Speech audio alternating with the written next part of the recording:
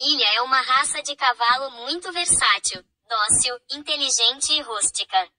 Algumas das suas principais características são 1. Um, tamanho.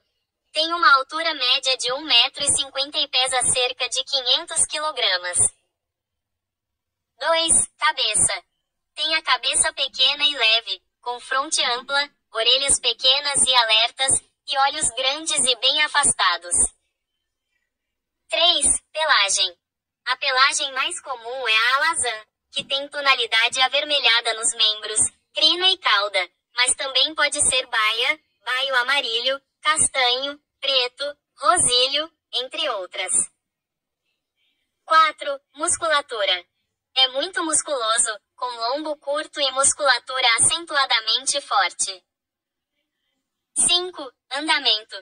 Tem um andamento harmonioso, em reta, natural e baixo. É um dos cavalos mais rápidos do mundo em corridas de curtas distâncias, podendo alcançar a velocidade de 88 km por hora. Parada e partida. É capaz de fazer paradas bruscas e partidas rápidas. Vive entre 25 e 30 anos.